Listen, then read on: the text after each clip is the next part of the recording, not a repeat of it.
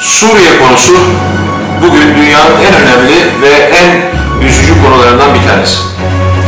Milyonlarca Suriyeli evini, barkını, yurdunu terk etmek durumuyla karşı karşıya kaldı. Halen büyük bir yaşam mücadelesi veriyorlar. Türkiye, AKP iktidarı bu süreci çok kötü yönetti.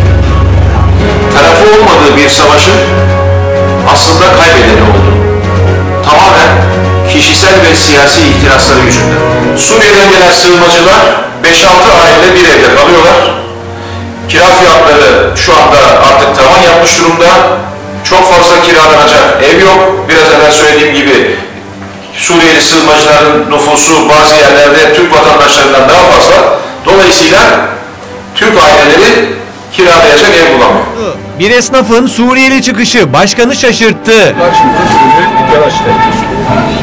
Ne ruhsat var ne bir şey var hiçbir şey yok. Ya biz olduk ikinci vatandaş ya. Başkan Aydın tepki karşısında şaşırdı.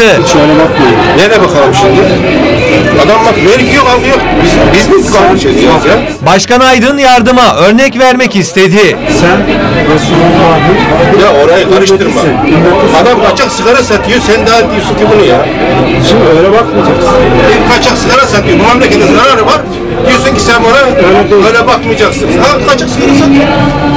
Bu memleketi biz kurtardık. Onlar değil. Onların onların dedeleri de beraber kurtardı. Ha geldiler işte.